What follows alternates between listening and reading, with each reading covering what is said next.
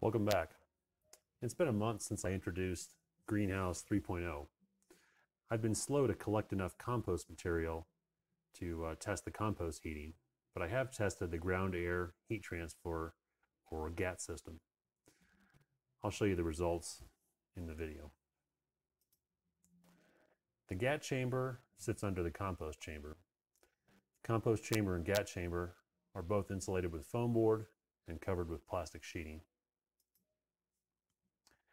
The GAHT system is comically simple. I just buried 25 feet of plastic drainage tube, 3 feet underground. The ends of the tube extended into the greenhouse.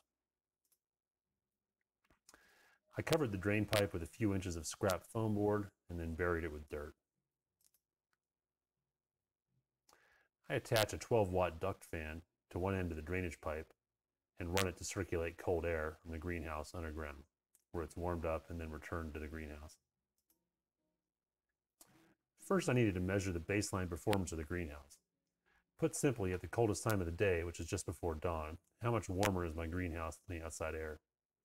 I generally find that the greenhouse provides more warming on the coldest days. The temperatures in this graph are in Fahrenheit, but I added Celsius labels. The coldest morning was below 16 degrees Fahrenheit, and the greenhouse was 5.5 degrees warmer outside on that day. On the warmest morning, it was 28 degrees outside, and the greenhouse provided about 2.5 degrees of warming. Now let's see how the GAHT system performed.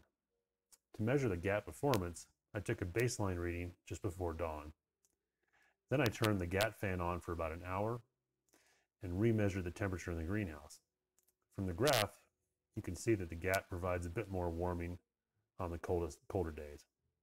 Thanks for making it to the end of the video. The GAHT is giving me one to two degrees of warming. It's not a huge amount, but my system is small and very simple. Anyone with a shovel could certainly build this.